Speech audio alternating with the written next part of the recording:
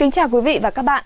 Mưa sẽ còn xuất hiện trong đêm thứ Bảy và sáng ngày Chủ nhật ở hầu khắp các tỉnh thành của khu vực miền Bắc.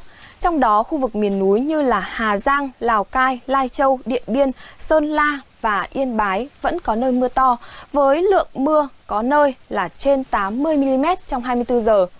Mưa nhiều nên khả năng cao sẽ xảy ra các hiện tượng như là lũ quét và sạt lở đất cũng như là ngập úng cục bộ. Vì vậy, người dân sinh sống ở khu vực này cần đề cao cảnh giác.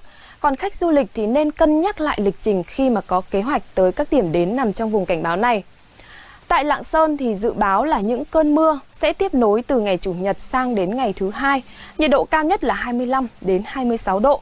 Đến thứ ba thì mưa sẽ có xu hướng giảm rõ, chỉ còn xảy ra về chiều tối. Từ sáng đến chiều thì là khoảng thời gian tạnh giáo và có nắng. Nhiệt độ cao nhất tăng lên là 28 độ.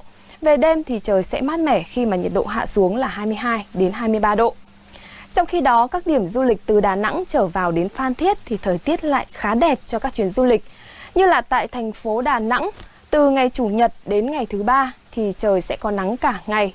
Nhiệt độ cao nhất ngày không vượt quá là 31 độ, cộng với gió biển thổi đều nên bầu không khí lúc nào cũng dễ chịu. Tối và đêm thì trời dịu mát 25 đến 26 độ. Khám phá thành phố biển trong tiết trời này thì du khách sẽ cảm nhận được trọn vẹn vẻ đẹp của biển cả, cũng như là cảnh sắc thiên nhiên ở bán đảo Sơn Trà. Với khu vực Nam Bộ thì cảnh báo là chiều tối của ngày Chủ nhật là toàn khu vực sẽ xảy ra mưa rào và rông.